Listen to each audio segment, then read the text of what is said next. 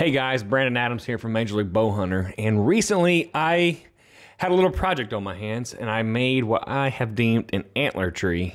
I'm gonna take you through my whole process of how it came from a tree uh, to in my office sitting behind me right now. So here we go.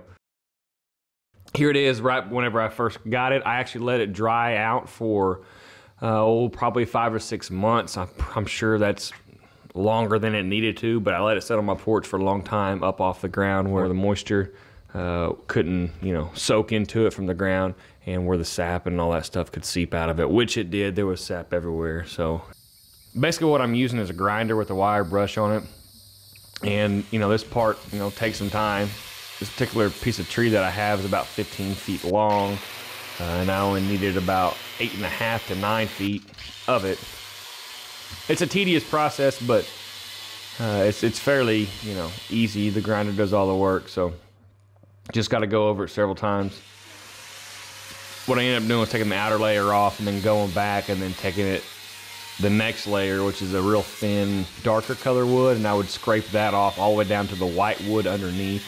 And here's a shot of the wood before I took it all the way down to the white wood. Really, really, really messy. Yes, it is extremely messy. So wherever you do this particular process, make sure that it can be a place that can get dirty and do not let your wife see you because my wife seen me and she was uh, not letting me come in the house for a while. I had to get literally hosed off in the yard. All right, to cut the ends, I just use a recip. I'm not a wood guy. I'm not a ex wood expert, but as you can see here, it peeled part of it off whenever it fell. And if I think if I had a support on the end, this wouldn't have happened. It happened on the bottom as well. Um, you know, the bottom was a lot bigger chunk that came out. I was able to grind it down and soften it up and you really can't tell that it's there. But as you can see, it would have been a lot nicer if uh, that didn't happen. So the next phase is uh, I took a concrete drill and drill a half inch hole in the concrete and this is what I use for the base. You can use pretty much whatever you want for the base. I happen to have this concrete slab laying around and decided to use this. So I drilled a hole for my lag bolt and now on the bottom of it I actually have to kind of wallow out the bottom so my washer and the head of my bolt will go in there and set flush on the ground. So here I am chipping away. I actually drilled several holes around the, the initial hole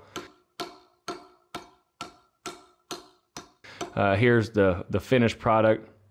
And here's a shot of it after I uh, washed it up a little bit. You can see where I had drilled around it a little bit more. So I actually had a 10 inch by half inch lag bolt uh, with a washer and then I took a 3 8 inch paddle for my drill and drilled the pilot hole in the bottom of my cedar post. So then I connected the two uh, from the bottom, took my impact and started cranking away.